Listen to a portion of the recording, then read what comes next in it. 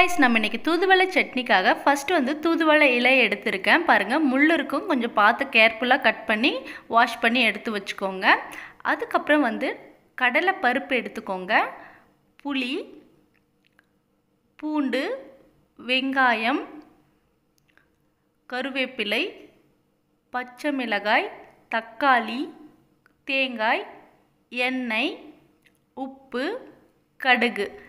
உளுந்த பருப்பு. இந்த எல்லா இன்க்ரீடியன்ஸையும் வச்சு நம்ம வந்து சூப்பரான ரொம்ப ஹெல்த்தியான ஒரு தூதுவளை சட்னி பார்க்க போகிறோம் ஃபஸ்ட்டு நம்ம வந்து கேஸ் ஸ்டவ்வை ஆன் பண்ணிட்ட பிறகு ஒரு கடாய் எடுத்து வச்சுக்கோங்க. கடாய் எடுத்துகிட்டு வந்து ஒரு ஃபோர் டேபிள் ஸ்பூன் வந்து நீங்கள் வந்து எண்ணெயை போட்டுக்கோங்க. எண்ணெயை போட்ட பிறகு எண்ணெய் காஞ்சதும் கடுகு ஒரு டேபிள் ஸ்பூன் போட்டுக்கோங்க. கடுகு நல்லா பொறிஞ்சி வந்ததும் சீரகம் வந்து ஒரு டேபிள் ஸ்பூன் போட்டுக்கோங்க. சீரகமும் நல்லா பொரிஞ்சு வந்தது.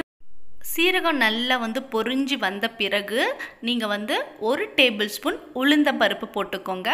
உளுந்த பருப்பு பொன்னிறமானதும் ஒரு டேபிள் ஸ்பூன் கடலை பருப்பு போட்டுக்கோங்க. கடலை பருப்பும் உளுந்த பருப்பும் நல்ல பொன்னிறமாக வறுத்த பிறகு நீங்கள் வந்து பத்து பல் வந்து பூண்டு எடுத்து நீங்கள் போட்டுக்கோங்க. பத்து பல் பூண்டு போட்டு கொஞ்சம் வதக்கி விட்டுட்டு திரும்பவும் வந்து ஒரு பத்து பச்சை மிளகாய் சேர்த்திக்கோங்க. இந்த பத்து பச்சை மிளகாவும் நீங்கள் கம்பல்சரியாக சேர்த்த வேண்டாம். உங்கள் காரத்துக்கு ஏற்ப நீங்கள் வந்து பச்சை மிளகா சேர்த்திக்கோங்க. அதுக்கப்புறம் வந்து ரெண்டு வெங்காயம் எடுத்து கட் பண்ணி வச்சுக்கோங்க. அந்த ரெண்டு வெங்காயத்தையும் வந்து தாளிப்பில் வந்து போட்டு நல்லா வதக்கி விட்டுட்டே வாங்க. உங்களுக்கு இந்த பச்சை மிளகா வெங்காயம் இதோட டேஸ்ட் வந்து நீங்கள் வந்து காஞ்ச மிளகா போடாமல் பச்சை மிளகா போட்டு இந்த சட்னியை செஞ்சு பாருங்கள் ரொம்ப டேஸ்ட்டாக இருக்கும். வெங்காயம் வதங்கிறதுக்காண்டி ஒரு டேபிள் ஸ்பூன் உப்பு போட்டுக்கோங்க. உப்பு போட்ட பிறகு நல்லா வதக்கி விட்டுட்டே வாங்க. உங்களுக்கு இந்த வெங்காயம் குயிக்காக வதங்கிடும். நீங்கள் உப்பு போட்டு வதக்கும் போது நெக்ஸ்ட் வந்து ரெண்டு தக்காளி எடுத்து நல்லா வாஷ் பண்ணி குட்டி குட்டியாக நறுக்கிக்கோங்க. ரெண்டு தக்காளி எடுத்து போட்டுக்கோங்க. நறுக்கின தக்காளியை போட்டு நல்லா வதக்கி விட்டுட்டே வாங்க. நீங்கள் தக்காளியை வச்சு இந்த சட்னி செய்கிறது வந்து ரொம்ப டிஃப்ரெண்ட்டான டேஸ்ட் கொடுக்கும். மறக்காமல் ஸ்கிப் பண்ணாமல் இந்த வீடியோவை பார்த்து இந்த சட்னியை கற்றுக்கோங்க அதுக்கப்புறம் வந்து நம்ம கழுவி எடுத்து வச்சுருக்க தூதுவாலையை வந்து நம்ம போட போகிறோம் இந்த தூதுவளை சட்னியில் வந்து ரொம்ப பெனிஃபிட்ஸ் நிறைய இருக்குது நான் நிறைய டைம் இந்த தூதுவளை சட்னி செய்து சாப்பிட்ருக்கேன் கண்டிப்பாக நீங்கள் உங்கள் வீட்டில் ட்ரை பண்ணுங்கள் வீக்லி ட்வைஸ் வந்து நீங்கள் இந்த தூதுவளை சட்னியை செய்து சாப்பிடும்போது உங்களுக்கு உடம்புல வந்து சளி ஜுரம் இருமல் இது போல் இருந்துச்சுன்னா கண்டிப்பாக இதை குணப்படுத்தும்.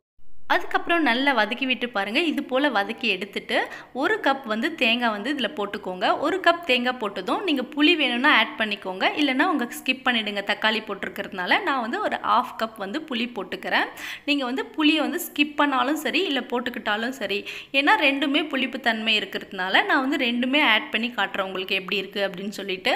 எனக்கு பசியே எடுக்க மாட்டேங்குது அப்படின்றவங்க வந்து இந்த தூதுவளை சட்னி செய்து சாப்பிட்டு பாருங்கள் கண்டிப்பாக உங்களுக்கு குயிக்காக பசி எடுக்கும். பாருங்கள் இது போல் நல்லா வதங்கி வந்ததும் ஆற வச்சு எடுத்து மிக்சி ஜாரில் போடுங்க. ஆற வச்சு எடுத்து போடுங்க. சூடாக வந்து மிக்சி ஜாரில் போடாதீங்க. ஏன்னா அது வந்து நல்லா இருக்காது. நல்லா வந்து ஃபேனில் வச்சு ஆற வச்சுட்டு எடுத்து மிக்சி ஜாரில் போட்டுக்கோங்க இது போல்.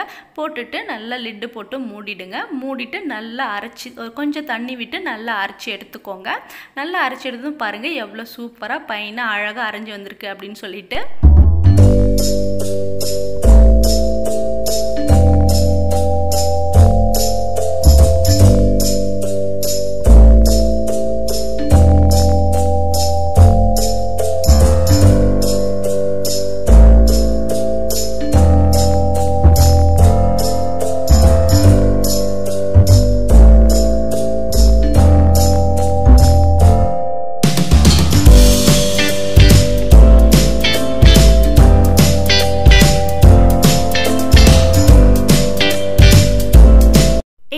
இந்த மருத்துவ குணம் நிறைந்த துதுவளை சட்னி உங்கள் வீட்டில் ட்ரை பண்ணி பாருங்கள் கண்டிப்பாக ட்ரை பண்ணிவிட்டு கமெண்ட் பாக்ஸில் எப்படி இருந்ததுன்னு சொல்லுங்கள் அது மட்டும் இல்லாமல் நம்ம சேனலை சப்ஸ்கிரைப் பண்ணி பெல் ஐக்கானை கிளிக் பண்ணு.